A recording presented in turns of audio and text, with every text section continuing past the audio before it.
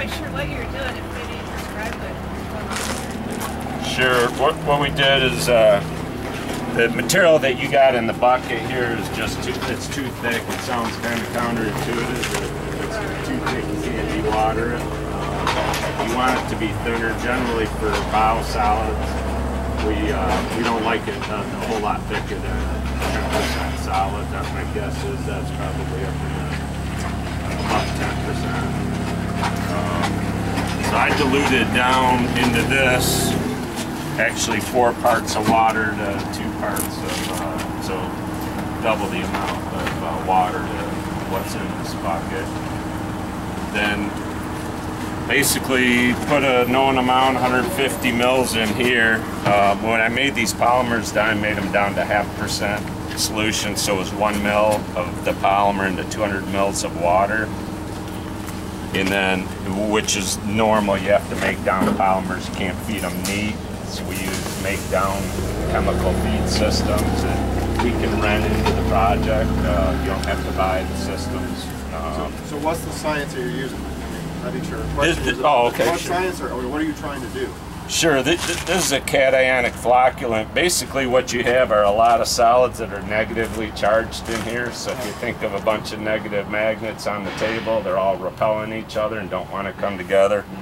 This, what we're doing is throwing a bunch of positive magnets on the table that allow, that match up with the negative magnets, allow them to all kind of feel good coming together. And then these, the polymer also has a real high molecular weight, so it's a real long strand. If, uh, if you think about when it comes in the drum like this, they're big, huge balls of yarn that have to be unraveled. So when we make them down in the water, they unravel.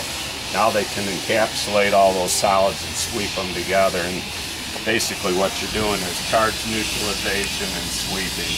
So you're starting a cake baking process or a jello making process. basically. Yeah, that's what you're doing. jello.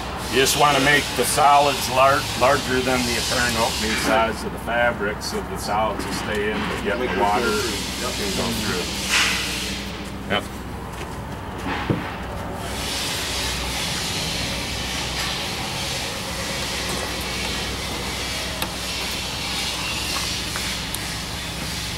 This will kind of show you what we're doing.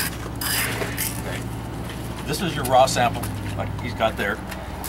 You're adding polymer to it. You see how it grabs all the particles, holds them all together, and lets the water separate. And this is your water afterward. Now this is at a dairy, so that's why it's discolored. You see here, this is a wastewater.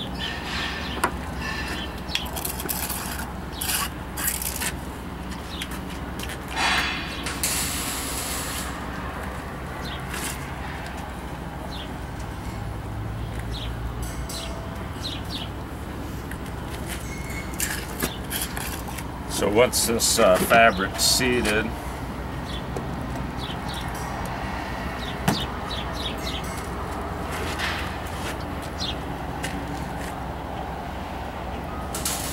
Next to you, make a note, Greg. We'll have to show how to, how to separate both before we put it in and afterwards. okay. So they kind of stand together.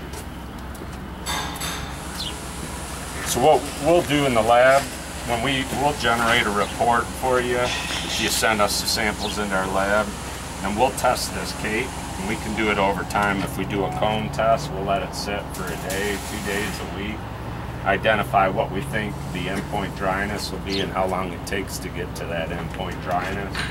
So that'll help us with understanding, you know, when, when you'll hit paint filter, if that's what your goal is, uh, to, to haul the stuff, get it out of there, uh, and how long it'll take to get to that point.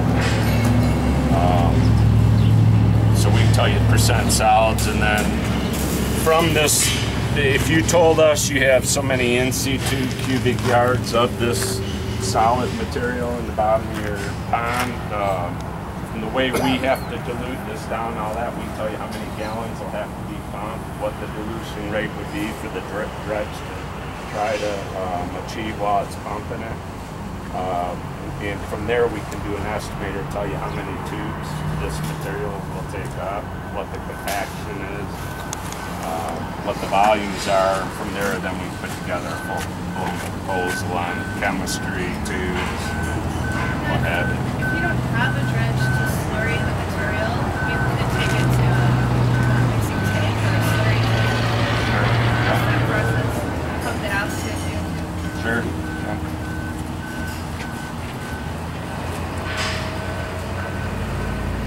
What's the next step? What do what we want to try to do?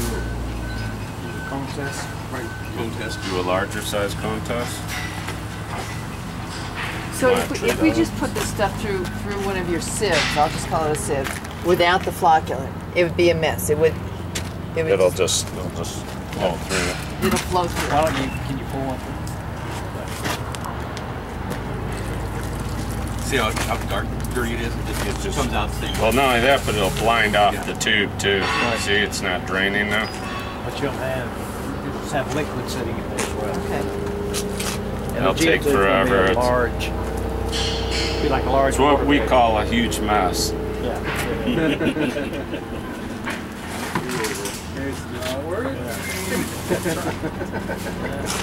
But if you get it right, should we treat all of this and do a cone test? You want something to capture, to, uh, capture the water?